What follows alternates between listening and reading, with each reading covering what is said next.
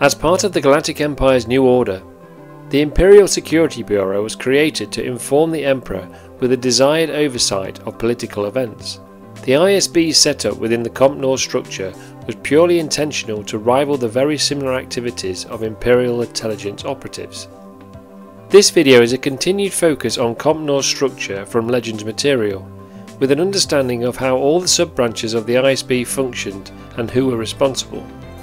In 19 BBY with the reorganisation of the Old Republic into the Galactic Empire, the ISB were originally formed by a crew of Andron, and its headquarters was set up inside the Imperial City Swiftly, the ISB became a powerful and the most feared department of Palpatine's government due to its surveillance and interrogation techniques.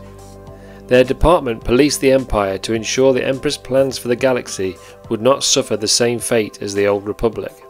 Although the leadership of Imperial intelligence, the Ubiqtorate operated with similar techniques using largely more experienced operatives.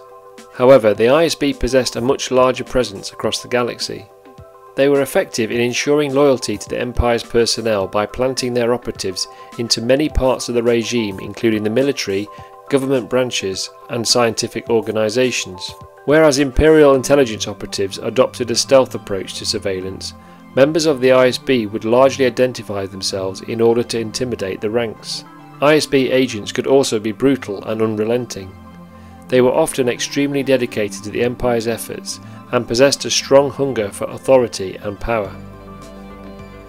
Prominent members of the ISB were firstly Wullf Yularen, who was a former veteran of the Clone Wars and a close friend of Palpatine during the days of the Republic. Yularen was tasked with rooting out any corruption within the Empire, which was something that had plagued him during the Republic, but Yularen was dedicated to solving.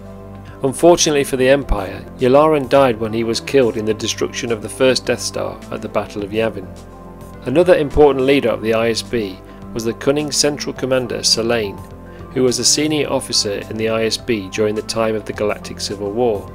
His thirst for power drove him to attempt to upstage Lord Vader to the Emperor by uncovering a rebel spy within the ranks of Vader's crew.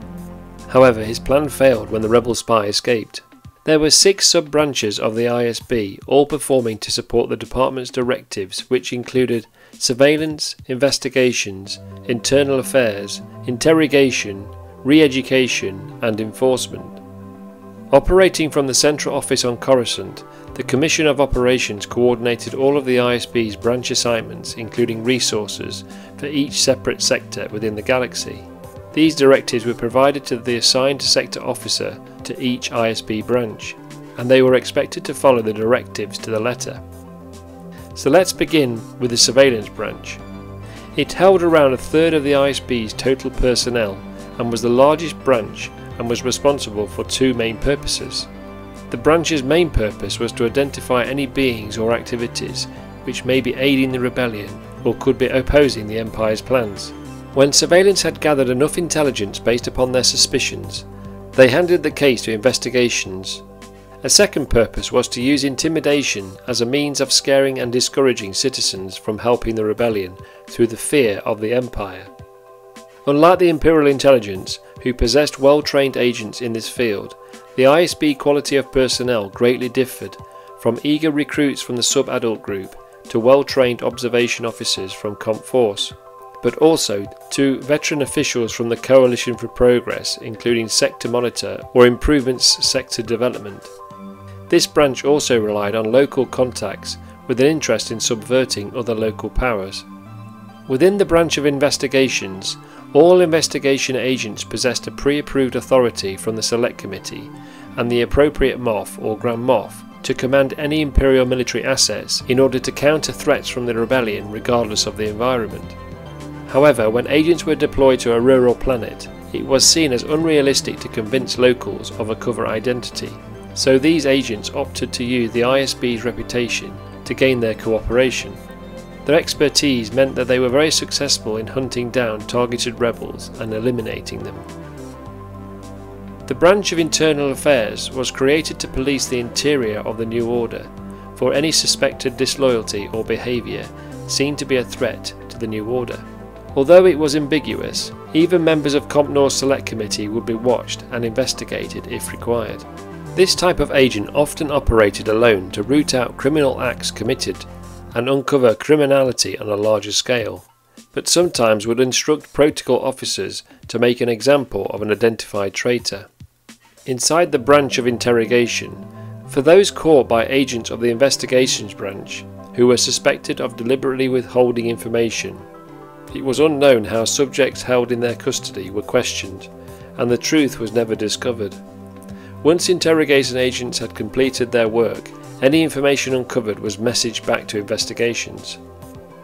The branch of re-education received any convicted members of COMPNOR, and once subjects had completed their re-education, they were mostly posted to return into active service, but only of lower importance. However, the graduates of re-education, as they were known, would mostly appear to act indifferently from their fellow members.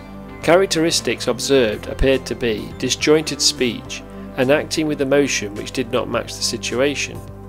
Many felt that the graduates of re-education had been mentally altered with some unexplained method. Acting as the branch specialising in missions that will often provide military assistance to the investigations branch, the branch of enforcement, unlike other branches in the ISB, recruited its personnel from outside of the Bureau and they were not members of COMPNOR. This policy drew special attention from internal affairs, who viewed their recruited agents as a dangerous risk to their delicate nature of many of their missions. Generally, enforcement were called upon when the Select Committee requested a mission to be performed and would rather it not be done by COMPNOR members. The next video episode will review the Emperor's advisors and their role within the Empire. But in the meantime, please subscribe to my channel for more Imperial Explained videos. Thank you for watching, long live the Empire, and as always, may the Force be with you.